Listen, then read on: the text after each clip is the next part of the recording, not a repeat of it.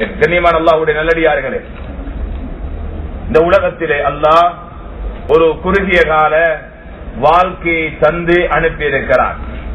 அதிகமானவர்கள் வாழ்ந்து தன்னுடைய வாழ்க்கையை முடித்து மன்னருடைய வாழ்க்கையை ஆரம்பித்து அடுத்து மகசருடைய வாழ்க்கையை ஆரம்பிக்க காத்துக் கொண்டிருக்கிறார்கள். இன்று நாம் இந்த பூமிக்கு மேலே வாழ்ந்து கொண்டிருக்கிறோம். எமக்கும் இந்த உலகத்திலே ஒரு பிரியாவிடை இருக்கிறது ஒரு முடிவு இருக்கிறது. அதற்கு பின்னாலே பூமியுடைய முதுகுக்கு மேலே வாழ்ந்த நாம் பூமியுடைய வயிற்றுக்குள்ளே வாழ ஆரம்பித்து விடுவோம். எதுவரைக்கும் சூர் ஊதப்படக்கூடிய நாள் வரைக்கும். கண்ணியமானவர்களே எனவே இந்த பூமிக்கு மேலே வாழக்கூடிய காலம் சுருக்கமான காலம் வேகமாக காலங்கள் நேரங்கள் கழிந்து கொண்டு போகிறது. கபரின் பக்கம் நெருங்கிக் கொண்டே போகிறோம். இந்த இடைப்பட்ட காலத்திலே இந்த அடிப்படையில் அல்லாஹ் வாழ வேண்டும் என்று சொல்லியிருக்கிறானோ? அந்த அடிப்படையில் வாழ்ந்து எந்த அடிப்படையில் அல்லாஹுடைய தூதர் வாழ்ந்து காட்டினார்களோ? அந்த அடிப்படையில் வாழ்வதை கொண்டு மட்டும்தான் எம்முடைய இந்த உலக வாழ்க்கை நிம்மதி இருக்கிறது. இந்த அதிகமானவர்கள் சொத்துகளோடு இருக்கலாம் செல்வத்தோடு இருக்கலாம் ஆட்சிகள் அதிகாரங்களோடு இருக்கலாம். பல விதத்திலும் நிம்மதியான வாழ்க்கை போன்று வெளியில் காட்சி கொடுக்கலாம். ஆனால் உள்ளத்தின் நிம்மதியை இழந்து அதிகமானவர்கள் வாழுகிறார்கள். உள்ளத்துடைய நிம்மதி சொல்லுவார்கள் இமாமார்கள் அந்நியமத்துல் மஸ்கூதா தொலைக்கப்பட்ட மிகப்பெரிய ஒரு நியமத்து எது தெரியுமா? அதுதான் மனிதன் இழந்த உள்ளத்தினுடைய நிம்மதி. இந்த உள்ளத்தினுடைய நிம்மதி நாம் எதிர்பார்க்கக்கூடிய எல்லா வஸ்துக்களிலும் அல்லாஹ் வைக்கவில்லை. பணத்தில் நிம்மதி இருக்கும் என்றால் அந்த காரூனுக்கு அல்ல நிம்மதியை கொடுத்திருப்பான். ஆட்சியில் நிம்மதி இருக்கும் என்றால் அந்த பிராவுனுக்கு நும்புறதுக்கு அல்லாஹ் கொடுத்திருப்பான். நிச்சயமாக அவைகள் நிம்மதி இல்லை என்பதை அல்லாஹ் அவர்களுடைய சரித்திரங்கள் மூலமாக எமக்கு அல்லாஹ் விளங்கப்படுத்துகிறார் அல்லாவுடைய நல்லடியார்களே நானும் நீங்களும் சிந்திப்போம். என்னுடைய உள்ளத்தில் நிம்மதி இருக்கிறதா? உலகத்திலே நான் நிம்மதியாக வாழுகிறேனா? ஒரு ஏழை மனிதனும் நிம்மதி அடையலாம். பணக்காரிடத்தில் இல்லாத நிம்மதி. ஒரு ஏழையும் அனுபவிக்கலாம் எப்போது தெரியுமா? இரண்டிலே அல்லா நிம்மதியை வைத்திருக்கிறார். இன்னும் ஒருபடி மேல சொல்லுவதாக இருந்தால் மூன்று விடயங்களில் அல்லாஹ் நிம்மதியை வைத்திருக்கிறார். இந்த மூன்றில் தவிர இந்த உலகத்தில் நிம்மதி எதிலும் தேட முடியாது. எதிலும் தேட முடியாது. நிம்மதிக்கு அல்லாஹ் ரெண்டு வார்த்தை குரானிலே சொல்லுகிறான். ஒன்று துமஅனீனா. துமஅனீனத்துல் கல்ப் உள்ளத்தினுடைய அமைதி உள்ளத்தினுடைய நிம்மதி. இந்த நிம்மதி எதன் மூலம் கிடைக்கும் தெரியுமா? அலா விதிக்கிறாய் சசுமைனுல் குழு உங்களுடைய உண்மை உள்ளத்துடைய நிம்மதியை அல்லாஹ் எதில் வைத்திருக்கிறான்? அல்லாவை நினைப்பதில் வைத்திருக்கிறான். அல்லாவுடைய திக்கிரிலே வைத்திருக்கிறான். சுமானீனத்துள் கல்வி என்ற உள்ளத்தினுடைய நிம்மதி அல்லாவை நினைப்பதில் மட்டுமல்ல வைத்திருக்கிறார்.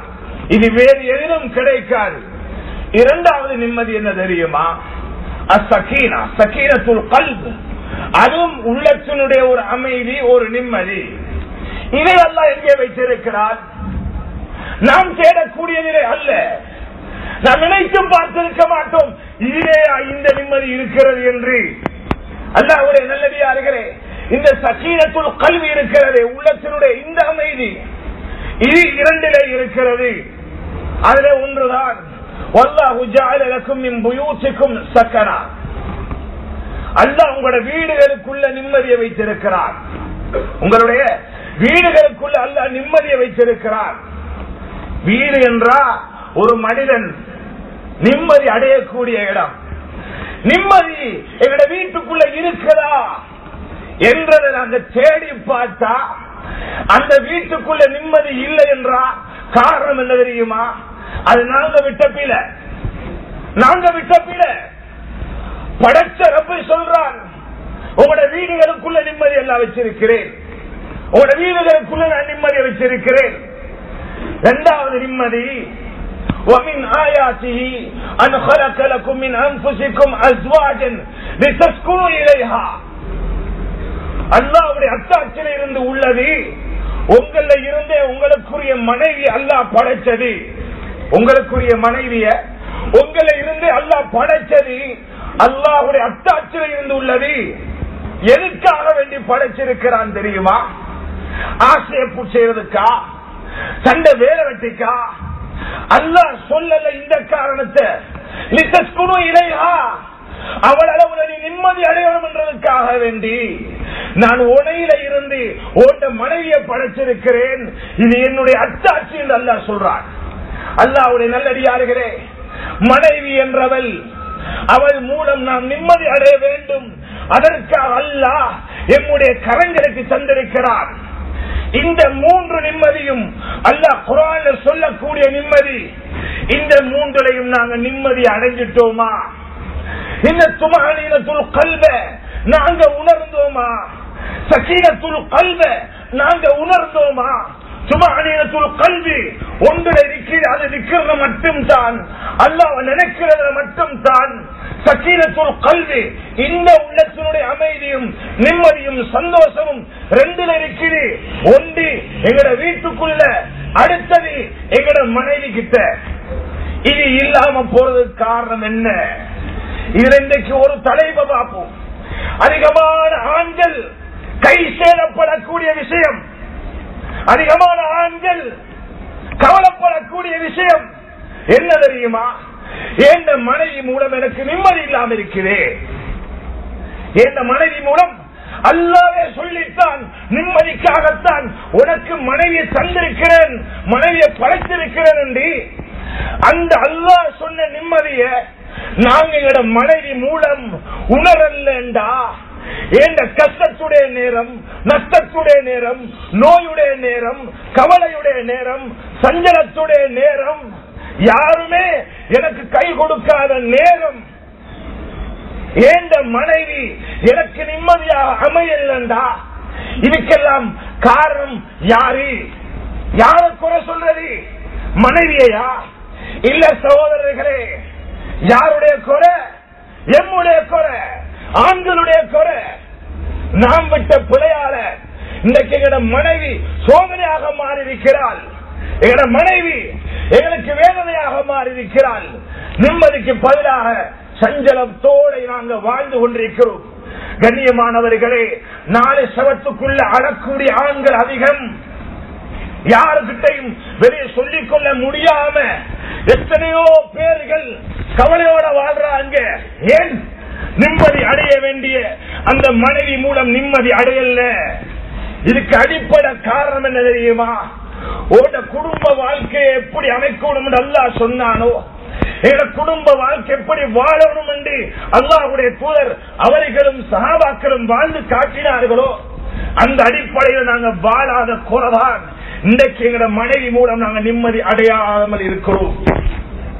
அல்லாவுடைய நல்லடியார்களே அல்லாஹ் குரானே சொல்லுகிறான் மனைவி என்றா யாரு? ஒவ்வொரு கணவனும் புரியணும். தொட்டது பிடிச்சதுக்கு இன்றைக்கு பிரச்சனை. மனைவி என்றா ஒரு வேலைக்காரி மனைவி என்றா ஒரு வாஷிங் மெஷின் மனைவி என்றா ஒரு கோக்கி மனைவி என்ற பிள்ளைய பார்க்கிற ஒரு செவிலி தாய் மாதிரி.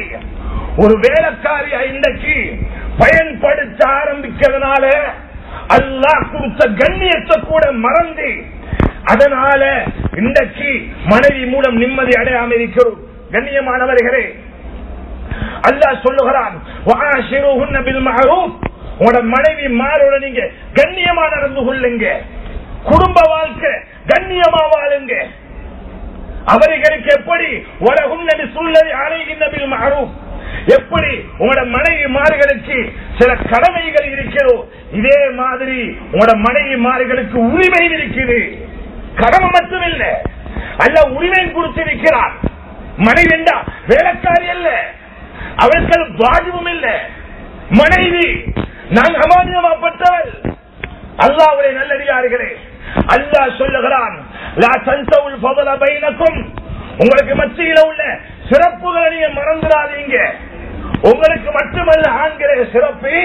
உங்களோட மனைவிக்கும் அல்ல சிறப்பு வச்சிருக்கிறார் உங்களோட மனைவிக்கும் அல்ல சிறப்பு வச்சிருக்கிறான் உங்களோட சொர்க்கமும் நீங்க சொர்க்கம் நுழையணுமா?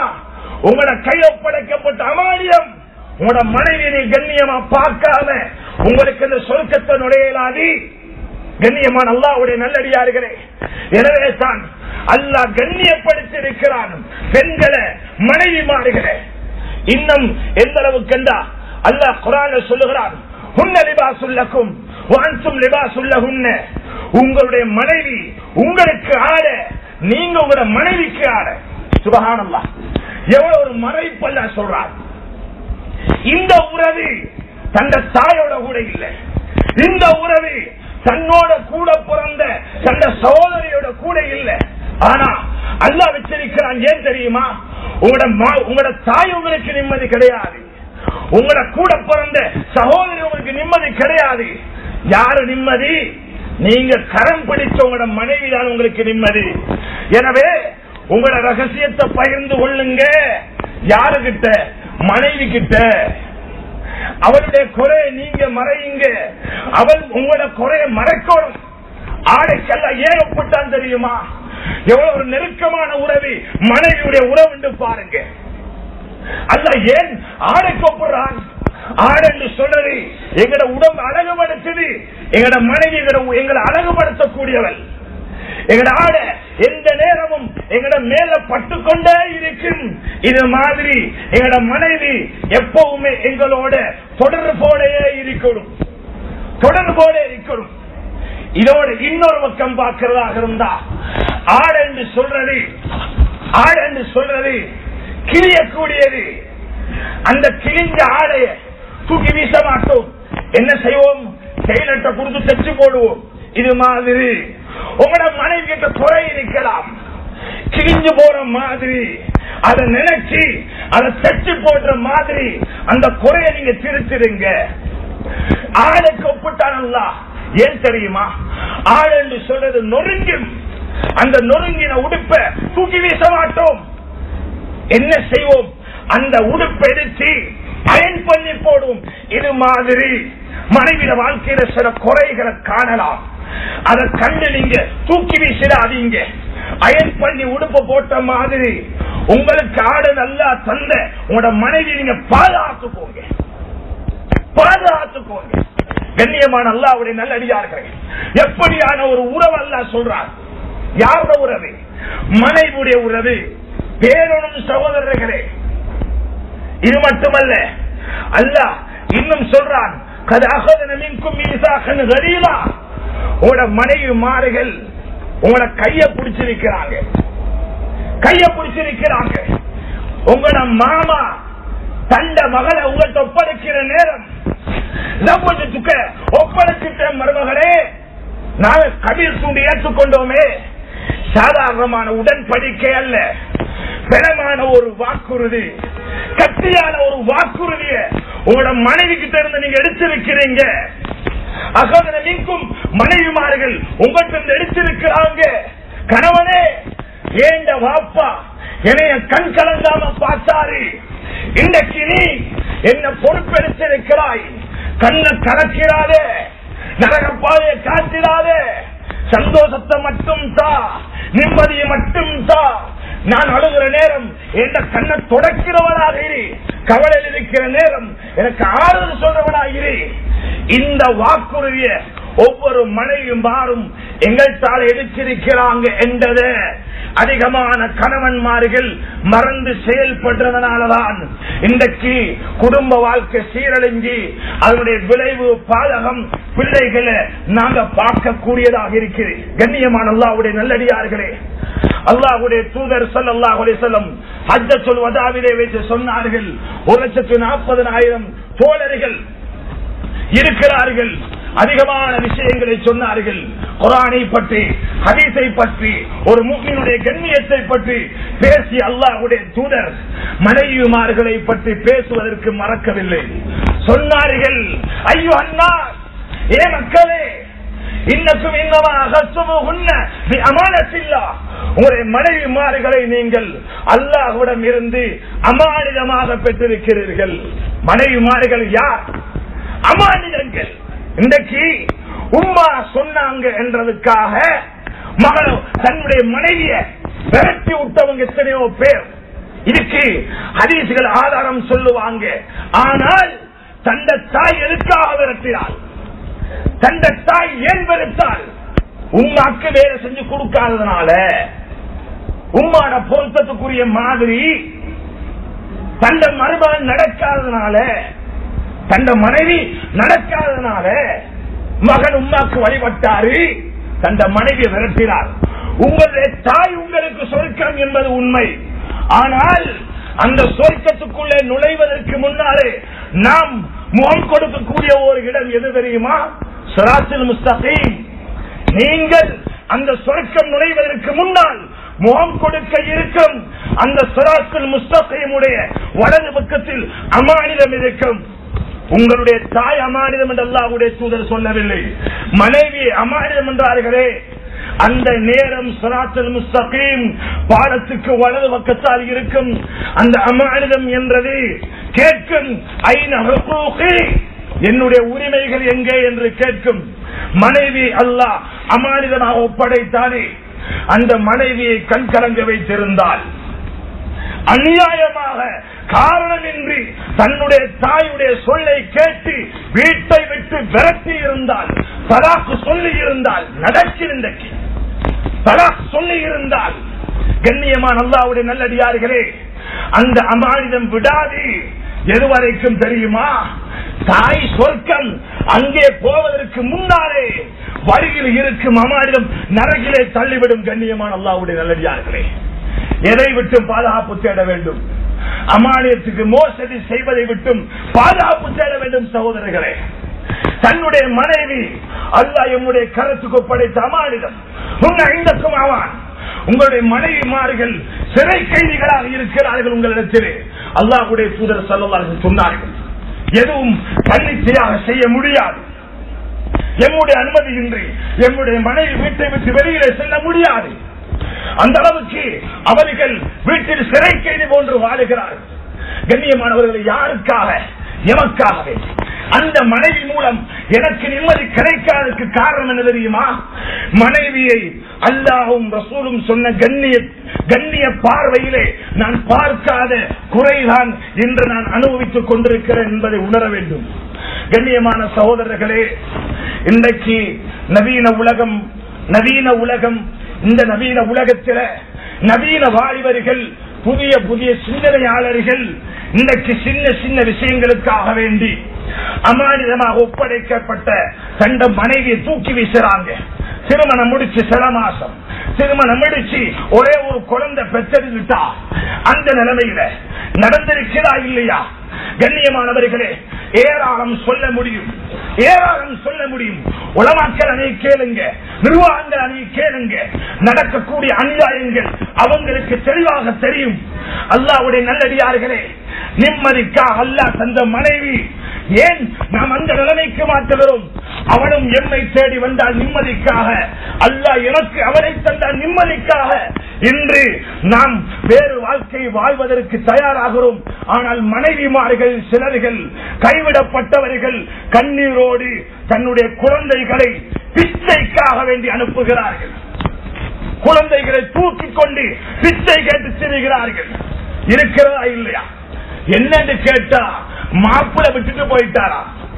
கண்ணியமான சகோதரர்களே எம்முடைய தர கரத்துக்கு தரப்பட்ட மனைவி அல்லாவே சொன்ன நிம்மதி அல்லாவே சொன்ன நிம்மதி அல்லாவுடைய தூதர் நிம்மதி அடையவில்லையா? சஹாபாக்கள் நிம்மதி அடையவில்லையா? தொழில் தொழில் என்கிறோம். வருடக்கணக்கு தொழிலுக்காக மனுஷியாள கணக்கு நாள் கணக்கு தொழிலுக்காக மனைவிக்காக வேண்டி எவ்வளவு நேரம்? மனைவிடைய சந்தோஷத்துக்காக ஒரு நாளைக்கு எத்தனை வார்த்தைகள் பேசுகிறோம்? வியாபாரம் பண்றதுக்காக வேண்டிய எத்தனையோ வார்த்தை சம்பாதிப்பதற்கு சம்பாதிச்சு சம்பாதிச்சு நிம்மதியை கண்டவர்களுக்கு இருக்க முடியுமா? நிச்சயமாக முடியாது. ஏன் தெரியுமா? அந்த சம்பாத்தியத்திலோ பணத்திலோ அல்ல நிம்மதியை வைக்கவில்லை சகோதரர்களே. ஆனால் மனைவியோடு இரண்டு வார்த்தை மூன்று வார்த்தை பேசுகிறார். எத்தனையோ தொல்லைகள் பிரச்சனைகள் கவலைகளை அல்லாவுடைய உள்ளத்தை விட்டுமே நீக்கி விடுவார் அல்லாவுடைய தூதருடைய வாழ்க்கையை பாருங்கள். வசி இறங்குகிறது. முதல் கட்டம் ஜிபில் இஸ்லாம் அவர்களை முதல் தடவை சந்தித்திருக்கிறார்கள். பயங்கரமான ஒரு சூழல் எதுவும் செய்ய முடியாது. பயந்தவர்களாக அல்லாவுடைய தூதர் ஹெராக்குவையிலிருந்து விரண்டு ஓடி வருகிறார்கள். யாரை தேடி ஓடி வந்தார்கள்? தன்னுடைய மனைவியை தேடி ஓடி வந்தார்கள். தெரியும் என்னுடைய மனைவிடத்தில் தன் நிம்மதி இருக்கிறது. ஓடி வந்தார்கள் மனைவிடத்திலே ஹதீஜா ரதியல்லாஹு அவர்கள் வந்ததோட சல்லல்லாஹு பார்க்கிறாங்க வஸல்லம் வேறுச்சு விடுவிச்சு வந்திருக்கிறாங்க. எந்த கேள்வியும் கேட்கல. ஏன்? சஞ்சலத்தோட வந்திருக்கிறார். கேள்வி கேட்டா இன்னும் பிரச்சனை கூடும். அதனால கேள்வி கேட்கல. வந்ததோட அல்லாஹ்வுடைய தூதர் மல்லாந்து படுத்தாங்க. சொன்னாங்க தம்மிலூனி தம்மிலூனி கதீஜா என்னைய போச்சு விடு. அதுக்கு பின்னால சொன்னாங்க என் மேல குளிர்ந்த தண்ணி எடுத்து ஊத்தி எடுத்தாங்க தண்ணிய அள்ளி ஊற்றினாங்க தள்ளி ஊத்தினாங்க முழு மே முழு உடம்பும் நடந்துச்சு நடையும் அளவுக்கு ஊற்றினாங்க தண்ணிய. கொஞ்சம் நேரம் கழிஞ்சு அல்லாவுடைய தூதரை எழும்புறாங்க. எழும்பி தன்னுடைய மனைவி கிட்ட விஷயத்த சொல்றாங்க. கதீஜா ரபி அல்லா கேட்கிறாங்க. கேட்டதன் பின்னால ஆறுதலுக்காக வேண்டி முதலாவது சொன்ன வார்த்தை என்ன தெரியுமா? எப்பயாவது எங்கட மனைவி மார்க்கிட்ட நாங்க ஆறுதலுக்கு ஓடினோமா? நிம்மதிக்கு ஓடினோமா? மனைவியை போய் கட்டி பிடிச்சோமா? மனைவிட மடியில படுத்தோமா? அவளோட கரத்தை இறுக்கி பிடிச்சோமா? அல்லாவுடைய தூதரை பார்த்த உன்னை சொன்னாங்க ஹதீஜா யார் சூழல்லா லாயு லா யுஹ்ஸீக அல்லாஹு அபதா ஒரு காலமும் அல்ல உங்களை வீணாக்க மாட்டான். இது யாரு?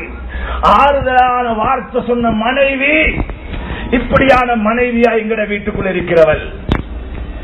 ஏந்த மனைவி எனக்கு ஆறுதல் வார்த்தை சொல்லலண்டா நான் ஏந்த மனைவிக்கு ஆறுதல் கொடுக்கல ஏந்த மனைவிக்கு வழிகாட்ட வேண்டிய முறப்படி வழிகாட்டல அதனாலதான் இன்றைக்கு ஏந்த மனைவி எனக்கு ஆறுதலா இல்லாம இருக்கிறார் கண்ணியமானவர்களே அப்துல்லாவின் ரவாஹா அவர்கள் நரகம் என்றால் பயந்து நடுங்கி அழக்கூடிய ஒரு சகாதி ஒரு தடவை நரகத்தை பற்றி சிந்தித்தார்கள் பயந்தார்கள் சராத்தல் முஸ்தகைமை பற்றி சிந்தித்தார்கள் பயந்தார்கள் ஓடி வருகிறார்கள். எங்க தெரியுமா? தந்த மனைவியை தேடி ஓடி வந்தாங்க. தன்னுடைய மனைவியை தேடி ஓடி வந்தாங்க. தன்னுடைய மனைவி உட்கார்ந்து கொண்டிருக்கிறாங்க. ஓடி வந்தவங்க தந்த மனைவிட மடியில தலைய வச்சு அழுகிறாங்க. கண்ணீர் வடியுது. மனைவிடைய மடி நனையுது. அந்த அளவுக்கு அழுதாங்க. அதுக்கு பின்னால மனைவி பார்க்கிறாங்க. என்னமோ தெரியாது. எந்த கணவர் இப்படி அழுகிறாரே. தாங்க முடியாம மனைவியும் சேர்ந்து அழுகிறார். மனைவியும் சேர்ந்து அழுகிறாங்க. ஏன்? அன்பு காட்டப்பட்டுச்சு மனைவிக்கு. அந்த மனைவியும் ரிட்டர்ன் அன்பு காட்டுறால் யாருக்கு? கணவனுக்கு. நீங்க அன்பு காட்டாம உங்களோட மனைவிக்கு அன்பு எதிர்பார்க்காதீங்க. நீங்க அன்பா பேசாம அன்பு வார்த்தை மனைவிக்கு எதிர்பார்க்காதீங்க. நீங்க நல்ல குணத்தோட அகலாக்கோட நடக்காம மனைவி கிட்ட இருந்து எதிர்பார்க்காதீங்க. அல்லாவுடைய தூதர் காட்டினாங்க அகலாக்க. அந்த அகலாக்கு பதில் அகலாக் மனைவி மாட்டிருந்து வந்துச்சு அப்துல்லா பின் ரவாஹா ரவி அல்லாஹ் காத்தினாங்க அன்பே. அந்த அன்புக்கு அவங்க பதில் கொடுக்கிறாங்க. மனைவியில கண்ணால கண்ணீர் வருகிறது. இந்த நேரம் மனைவி மனைவியை பார்த்து கேட்டாங்க மனைவியே எதுக்காக வேண்டி நீ அழுகிறாய்? கணவரே நீங்க அழுகிறத பார்த்து என்னால பொறுக்க முடியல அதனால நான் அழுதேன்னு சொன்னாங்க. சொன்னாங்க கணவர் அப்துல்லா பின் ரவாஹா. மனைவி அல்லாவுடைய வசனத்தை நான் ஞாபகம் செஞ்சேன். உங்களை யாராக இருந்தாலும் அந்த சிராத்தில் முஸ்தகையும் பாலத்துக்கிட்ட வரவே வேணும். சமூகம் அளிக்கவே வேணும். சொருக்கம் நுழையணுமா? அந்த பாலத்தை தாண்டாம சொருக்கம் நுழைய முடியாது. யார சும்மா நுணத்தில் தகவ். அல்லாஹ் பயந்து வாழ்ந்தவங்க தப்பி போயிடுவாங்க. அதே மாதிரி அநியாயக்காரர்கள் நரகத்திலே விழுந்து விடுவார்கள் என்ற வசனத்தை கேட்டதோட என்னால பொறுக்க முடியல மனைவி. அதனால தான் உனக்கிட்ட ஓடி வந்தேன். அதனாலதான் உனக்கிட்ட ஓடி வந்தேன் சொன்னாங்க. அல்லாவுடைய நல்லடியார்களே மனைவி இந்த உலகத்திலே அல்லாஹ் தந்த மிக பெரும் நிம்மதிக்கு ஒரு ஒரு வழி. அந்த வழி மூடப்பட்டா ஒவ்வொரு ஆணும் நான்கு செவத்துக்கு மத்தியில கண்ணீர் வடிக்க வரும். இந்த கூலருக்குள்ள கண்ணீர் கண்ணீர் வடிக்க வரும். நோயோட மடிந்து சுருங்க வரும். அல்லாவுடைய நல்லடியார்களே அல்லாஹுடைய அடிமை பெண்களுக்கு அநியாயம் செஞ்சிடாதீங்க. நோவடிச்சிடாதீங்க. பேசக்கூடிய ஒவ்வொரு வார்த்தையும் உங்களோட மனைவி உள்ளம் சந்தோஷம் படும் அளவுக்கு பேசுங்க. அல்லாவுடைய தூதர் ஸல்லல்லாஹு அலைஹி எப்படி வாழ்ந்தார்கள் என்று பாருங்கள் சகோதரர்களே. ஆயிஷா ரதி ரலியல்லாஹு அவர்களை பா- அவர்களை கிட்டே வந்தால் முத்தமிடுவார்கள் சல்லல்லா அலைஹி வஸல்லம். தொலைப்போ போறாங்களா? முத்தமிட்டுக்கிட்டும் போவாங்க. முத்தம் குடிச்சுட்டும் போவாங்க. நெற்றிய போவாங்களா? போவாங்களாம் அன்பை பாருங்கள் சகோதரர்களே எப்ப முத்தம் கொடுத்த நாள் ஞாபகம் இருக்கிறா ஞாபகம் இருக்கிறா இதெல்லாம் தலைகுனியில வைக்கப்படுற விஷயம் இல்ல. இன்னைக்கு நாங்க அனுபவிக்காத விஷயம் இது. அனுபவிக்காத விஷயம் இது. ஏந்த மனைவி நான் முத்தம் கொடுக்கிறதுக்கு என்ன? அவளை அல்லாஹ் விளை நிலமா தந்திருக்கிறார் எப்படியும் பயன்படுத்தலாம்? அல்லாவுடைய நல்லடியார்களே இந்த உரிமை இந்த பூமிக்கு மேல வேறு யாருக்கும் யாருக்கும் கொடுக்க முடியாது. அந்த அளவுக்கு உரிமை பெற்றவள் எம்முடைய மனைவிக்கு. நாம் எமக்கு எம்முடைய மனைவி. அல்லாவுடைய நல்லடியார்களே அல்லாவுடைய தூதர் செல்லல்லாவுடைய செல்லம் தந்த மனைவிட தலைக்கு என்ன பூசுவாங்க? மனைவிட தலைய வாழ்ந்துடுவாங்க ரெண்டு பேரும் ஒரே பாத்திரத்துல குளிப்பாங்க. எந்த அளவுக்குண்டா கண்ட? கையும் அல்லாவுடைய தூதருடைய கையும் ஒன்றாக கலந்து கொள்ளும் என்று சொன்னாங்க ஆயிஷா ரதி அல்லா அவர்கள் அந்த அளவுக்கு ரெண்டு பேரும் சேர்ந்து ஒரு பாத்திரத்துல குறிச்சிருக்கிறாங்க இதெல்லாம் தான் சகோதரர்களே அன்பு பரஸ்பரம் கணவன் மனைவிக்கு மத்தியில அதிகரிக்கிறதுக்குரிய வழி. இந்த வழிகள் எல்லாம் இன்றைக்கு நவீன உலகம் அடைச்சு போட்டு அடைச்சு போட்டு வேற வேற டிசைன்ல இன்னைக்கு இன்னைக்கு பாத்ரூம் வேற டிசைன் பெட்ரூம் வேற டிசைன் இன்னைக்கு எல்லாமே பிரிஞ்சு உள்ளமும் பிரிஞ்சு உடலும் பிரிஞ்சு. அல்லாவுடைய நல்லடியார்களை என்றைக்கு எங்களோட மனைவி மூலம் நாங்க நிம்மதி அடைய போறோம். என்றைக்கு அடைய போறோம். அல்லாஹுடைய தூதர் ஸல்லல்லாஹு செல்லம் அவங்க இந்த அளவுக்கு தந்த மனைவியோட நடந்து கொண்டாங்கண்டா தந்த மனைவிக்கு தான் முதலாவது ஏதாவது ஒரு சாப்பாடு வந்தாலும் குடிபானம் வந்தாலும் கொடுப்பாங்களா? ஆயிஷா நீங்க குடிச்சிட்டு தாங்கண்டுவாங்களாம் ஆயிஷா ரதியல்லான் அவங்க குடிப்பாங்க. அதுக்கு பின்னால அல்லாஹுடைய தூதர் அந்த பாத்திரத்தில் இருக்கிற மீதமான அந்த குடி குடிபானத்தை பாலாக இருந்தாலும் எதுவாக இருந்தாலும் எடுப்பாங்க. எந்த இடத்த ஆயிஷா ரவி அவங்க வாய் வச்சு குடிச்சாங்களோ அந்த இடத்தை திருப்பி அந்த இடத்துல வாய் வச்சு குடிப்பாங்களா? கண்ணியமானவர்களே யார் இவர்கள்? உலக தூதர் ஒளி செல்லம் காட்டின வழி நிம்மதிக்கு இதுதான் வழி மனைவியை கண்ணியப்படுத்துங்க. மனைவியை சிறப்பானவனா நினைங்க அறிவறுப்பு பற்றாதீங்க. மனைவியுடைய எச்சிலும் ஏண்ட எச்சிலும் வித்தியாசம் இல்லை. ஏண்ட உடம்பும் மனைவிட உடம்பும் வித்தியாசம் இல்லை அந்த உணர்வு வரணும் ஒவ்வொரு கணவன்மாருக்கு. அன்பாந்த வாலிபர்களே இளம் கணவன்மார்களே இன்று அதிகமான தலா நடக்குது. இளம் வயசுல உள்ளவங்களுக்கு இல்ல இளம் வயசுல உள்ளவங்களுக்குள்ள. திருமணம் முடிச்சு சில மாசம் திருமணம் முடிச்சு ஒரு குழந்தைய கொடுத்தா அதோட ஆள் போயிட்டாரு. போயிட்டாரு பார்த்தா வேறொரு தொடர்பு இல்லாட்டி இவர் செட்டாக மாட்டாள் குழந்தை கிடைக்கும் வரைக்கும் செட் ஆகிறவள் குழந்தை கிடைச்சதும் செட் ஆக மாட்டாள் யார பேச்சு? உம்மாட பேச்சு. அந்த ஒவ்வொரு தாய்மார்களும் ஒவ்வொரு பெற்றோர்களும் அவள் வடிக்கும் கண்ணீருக்கு பயாமத்திலே சாட்சி சொல்ல வேண்டிய வரும். அல்லாஹுடைய நல்லடியார்களே அன்பு நபி சல்லாஹுடைய செல்லம் இன்னும் எந்த அளவுக்கு நடப்பார்கள் தெரியுமா? இரவுல தந்த வீட்டுக்கு வரணும்டா. சல்லல்லாஹம் வருவாங்க. எந்த அளவுக்கு சலாம் சொல்லுவாங்க. ஆனா தூங்கி இருக்கிறவர் எலும்பாம எலும்பாத அளவுக்கு எலும்பி இருக்கிறவர் கேட்கிற அளவுக்கு சலாம் சொல்லுவாங்க. ஆயிஷா ரதியெல்லாம் சொல்லுவாங்க நான் தூங்கி இருப்பேன் சில நேரம். அல்லாவுடைய தூதர் வருவார்கள். வந்த நேரத்தில் எனக்கு விளங்கிடும். அன்பனுடைய வாசத்தை வச்சு அல்லது நடைய வச்சு நான் விளங்கிடுவேன். வந்திருக்கிறார் ஆனா எனக்கே கேட்காத அளவுக்கு மெதுவாக சலாம் சொல்லிட்டு வருவான் ஏ காரணம்? நான் சொல்லக்கூடிய சலாம் கூட என் மனைவிக்கு நோவினா இருந்துடக்கூடாது.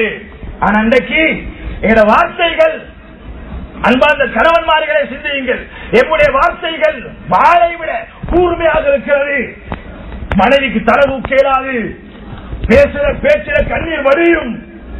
எத்தனை எத்தனை அகலாட்சிகளை விட்டு விட்டோம் எத்தனை அகலாட்சிகளை இழந்து விட்டோம் இந்த குடும்ப வாழ்க்கை நிம்மதியை காண முடியுமா? அந்த மனைவி மூலமாக நிம்மதி அனுபவிக்க முடியுமா? நிச்சயமாக கிடைக்காது. அல்லாவுடைய தூதர் புரிந்துணர்வோடு வாழ்ந்திருக்கிறார்கள் மனைவிமாரோடு. ஒரு தடவை ஜெயினபிந்து ஜாய்ஸ் ரதி அவர்கள் ஒரு உணவை அனுப்புகிறார்கள் தன்னுடைய காதிமிட்ட யாருக்கு? அல்லாஹுடைய தூதருக்கு. இந்த நேரத்தில் யாருடைய நாள்? ஆயிஷா ரவி அல்லா அண்ணா அவங்களோட நாள் அது. கொண்டு வந்தாங்க அந்த காதிம் சல்லல்லா அலிஸ்லாமோட குடிச்சதோட எங்க இருந்து வந்துச்சு சொல்லப்பட்டுச்சு ஜெயினபு தந்தாங்க ரோசப்பட்ட ஆயிஷா ரவியல்லா அவங்க ஒரு அடி அடிச்சாங்க. அந்த பாத்திரம் கீழே விழுந்து ரெண்டா உடைஞ்சிச்சு அதுல உள்ள உணவெல்லாம் செதறி போச்சு செதறி போச்சு இது பெண்கள்கிட்ட உள்ள ஒரு ரோசம் இது ஒரு ஒரு கீழ்த்தரமான விஷயம் அல்ல. அன்புடைய வெளிப்பாடுதான் ரோசம் நீங்க வேறொரு பெண்ணோட பேசுறத உங்களோட மனைவிக்கு சரி கேளாது. சரி கேளாது. பார்த்துட்டு நிற்க மாட்டால் ரோசம் உள்ள ஒரு பெண். அவள் இறக்கம் உள்ளவரா இருந்தா கேட்பாள். என்ன பேசுனீங்க? உங்களுக்கு அவளுக்கும் என்ன ரகசிய தொடர்பு இது சந்தேகம் இல்ல ரோசம் இது எங்களோட உமா கிட்ட இருந்த ரோசம் யாரு? ஆயிஷா உமா கிட்ட இருந்த ரோசம் அல்லாஹுடைய தூதர் சண்டை பிடிச்சாங்களா? என்னடி இப்படி செஞ்சா கேட்டாங்க. இன்னைக்கு நாங்களா இருந்தா? கொஞ்சம் தண்ணி பூங்கோட்டர் கொண்டு சொல்லிருப்போம். கொஞ்சம் சுடு தண்ணி. நாங்க எதிர்பார்த்ததை விட கொஞ்சம் சூடா இருந்திருக்கலாம். தூக்கி ஒரு அடி. தூக்கி ஒரு அடி. எங்களுக்கு தேவையான சூடு அவளுக்கு தெரியுமா? சரி எடுத்து கொஞ்ச நேரம் வச்சா ஆயிடுமே. இதை பொறுக்க முடியல எங்களுக்கு. அல்லாவுடைய தூதர் கேள்வி கேட்கல அதட்டல்ல உடனே என்ன செஞ்சாங்க? உட்கார்ந்தாங்க. அந்த உணவெல்லாம் எடுத்தாங்க. உடஞ்ச பாத்திரத்துல உண்ட கொடுத்தாங்க. அதுல போட்டாங்க. கண்ணியமான சகோதரர்களே அகலா என்ன சொன்னாங்க? சல்லல்லா அலிசலம் வார சோமுக்கும் உங்களோட உம்மாக்கு ரோசம் வந்துட்டு உங்களோட உம்மாக்கு ரோசம் வந்துட்டு இதுதான் அகலா அன்பு இருக்கிற அந்த குடும்பத்தில். அன்பு பரஸ்பரம் இருக்குது அலி ரதியலன் அவர்கள் பாத்திமா ரதியலன் அன்பு கணவன் சந்தோஷமான வாழ்க்கை வாழ்ந்தவங்க.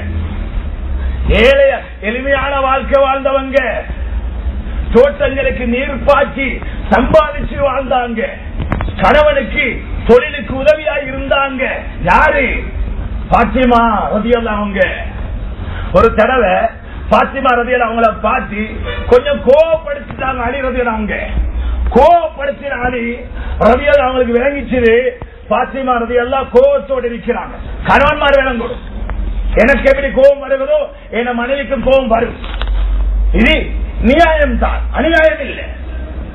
ஏந்த மனைவி எனக்கு ஏசுற நேரம் எப்படி கோபம் வருதோ அது மாதிரி நான் ஏசினா என் மனைவி கோபம் வரத்தான் செய்யும்.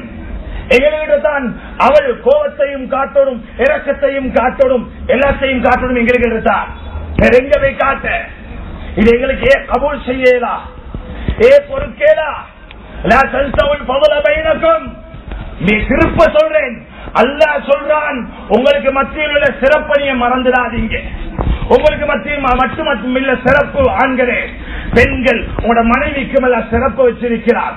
அது மாதிரி கோவப்பட்டா கோவத்தை பொறுத்துக்கோங்க. அறிறது எல்லாம் அவங்களுக்கு விளங்கிச்சு தந்த மனைவி பாத்திமா கோவப்பட்டுட்டால் இனி இந்த வீட்டுக்குள்ள இருக்க கூடாது. எதுவரைக்கும் ஏந்த மனைவி நிம்மதி ஆறுதல் அடைஞ்சி அந்த கோம் தனியில வரைக்கும் வரக்கூடாது என்றத விளங்கி உடனே வெளியே போனாங்க. உடனே வெளியே போன நாங்க நீ போடி வெளியேண்டுவோம். நீ போடி வெளியே. இவன் வெளியே போனாங்க. கணவன் விளங்கினவர்.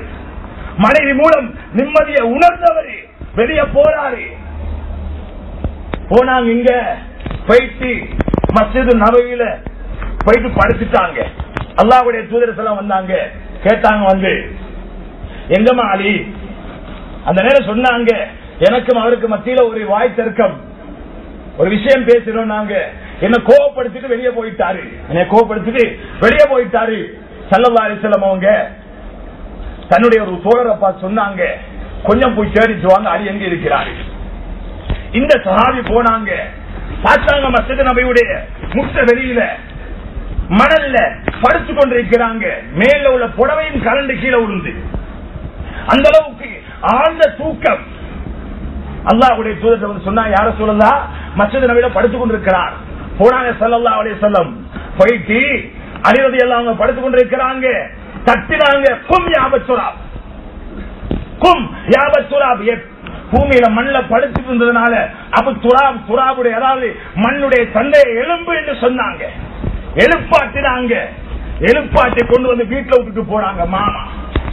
மாமா வீட்டுல விட்டுட்டு போனாங்க. இதுல இருந்து என்ன உலமாக்கள் சொல்றாங்க தெரியுமா?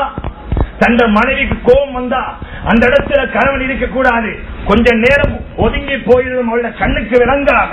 ஏ பெண்ணென்றவள் வளைஞ்ச எலும்பிலிருந்து படைக்கப்பட்டவள் பிரச்சனை கூடி தலாக்கு வரைக்கும் போயிடும். இன்றைக்கு தீய நேரத்துக்கு கொண்டு வந்து கொடுக்காததுக்கு தலாக்கு நடந்திருக்குது கண்ணியமான சகோதரர்களே தலாக் இன்றைக்கு வரையறைக்கு அப்பால் போய் கொண்டிருக்கிறது. ஏன்? இந்த மாதிரி சகாபாக்கள் நபியவர்கள் புரிந்து கொண்ட குடும்ப வாழ்க்கை இல்லாத வாழ்க்கை வாழ்ற காரணத்தினால. வாலிபர்களே அன்பார்ந்த கணவன்மார்களே பாடம் பெறுங்கள். ஒரு சம்பவத்தை சொல்லி காட்டுகிறேன். ஒரு கணவன் தன்னுடைய மனைவி திருமணம் முடிச்ச கொஞ்ச காலம் கருப்பிரியாக இருக்கும் நிலைமையில் தன்னுடைய தாய் யார தாய்ட்ட? கணவனுடைய தாய்கிட்ட விட்டுட்டு போயிட்டாங்க. ஒரு விஷயத்தை படிச்சுக்கோங்க ஒரு விஷயத்தை படிச்சுக்கோங்க நீங்க வெளிநாட்டு போறீங்களா? எங்கேயும் பிரயாணம் போக போறீங்களா? உங்களோட மனைவிய உங்களோட மனைவிய நீங்க அந்த மனைவிட உம்மள வீட்டுல கொண்டு விட்டுட்டு போங்க. இல்லையா? பிரச்சனை கூடும். அந்த அடிப்படையில பிரச்சனை வந்து அதிகமான குடும்பங்கள் பிரிஞ்சிருக்குது. நீங்க நிம்மதியா வாழ நினைச்சா இதை செய்யுங்க. இல்லாட்டி பிரச்சனை வரும். இந்த நிலைமை தான் இங்க வந்துச்சு கற்பிணியாக இருக்கிறாள் ஒன்பது மாசம் நிறை மாத கற்பிணி மாமி மாமா நல்ல வேலை வாங்கினாங்க. டாய்லெட் கிளீன் பண்ண விட்டான் கடைசியா. கிளீன் பண்றாங்க. அப்படியே உழுவுறாங்க. உடனே ஹாஸ்பிட்டல் கொண்டு போகப்படுகிறது. அதுக்கு பின்னால போய் பார்த்தா வயிற்றுக்குள்ள இருந்த அந்த சிசு அந்த குழந்தை மவுத்தாக இருந்துச்சு. மவுத்தாக இருந்துச்சு. டாக்டர் ரிப்போர்ட் வருகிறது. ஹார்ட் ஒர்க் பண்ணிருக்கிறாள் இந்த பெண் இந்த கற்பிணி பெண் தந்த குழந்தைய சுமந்திருக்கிற நிலைமையில கஷ்டப்பட்டிருக்கிறாள் அதிகமாக. அதனாலதான் இந்த ஆபத்து வந்துச்சு பிள்ளைக்கு என்ற ரிப்போர்ட் வருகிறது. இதுக்கு யாரு காரணம்? கணவன்மார்களே புரிந்துணர்வானங்க கண்மூடி சிரம நடந்துடாதீங்க. மனைவி மேல ஒரு அன்பு உண்டாகட்டும். பாவப்பட்டவள் எம்மை நம்பி வந்திருக்கிறாள். கை விட்டுடாதீங்க. உம்மட கையில டாக்டர கையில மயில கை ஒப்படைக்கெல்லாம் தரல உங்களோட கையில் அல்லா தந்திருக்கிறார் ஒவ்வொரு அநியாயத்துக்கும் ஒவ்வொரு கண்ணீருக்கும் பதில் சொல்ல வேண்டியவர்கள் யார்? ஒவ்வொரு கணவன்மார்களும். அல்லாவுடைய நல்லடியார்களே விட்டு கொடுக்க வேண்டும் குடும்ப வாழ்க்கையில். ஒரு சம்பவத்தோடு முடித்துக் கொள்கிறேன். உமர்வர் சத்தாப ரதியல் அவருடைய காலம். ஒரு மனிதர் வருகிறார். உமர் ரதியல் அவர்கள் தேடி என்ன காரணம் தெரியுமா வந்தது? தண்ட மனைவியால பிரச்சனை தண்ட மனைவியால பிரச்சனை நிம்மதி இல்ல. மனைவி அதிகம் பேசுறாள். வந்தாரு. உமர் முறப்பாடு செய்ய வந்தவர். உமரதி ரதி அவங்களோட வீட்டு வாசல்ல நிக்கிறாரு. உமர் ரதியல்லான் அவர்கள் அவர்களுடைய வீட்டுக்குள்ள இருக்கிற நேரமே அவங்களோட மனைவிட சத்தம் கூட உமர் ரதியல் அவங்களுக்கு ஏசி கொண்டிருக்கிறாங்க மனைவி. யார மனைவி? செய்தானே கண்டா விரண்டு விடுவார். குறைசி காவல் கண்டா நடுங்குவார்கள். அப்படியான உமர். ஒரு பிரச்சனைண்டா உடனே வாழை உருகும் உமர். தந்த மனைவி பிரச்சனை போடையும் வாழ உருகல்ல தும்பு கடை தூக்கல்ல செருப்ப தூக்கல்ல. அது இன்றைக்கு நவீன உலகத்தில் நடக்குது. ஆனா உமர் ரவியல் அவங்க பொறுமையா இருந்தாங்க. பொறுமையா இருந்தாங்க. ஏன்? அவனுடைய நிம்மதி.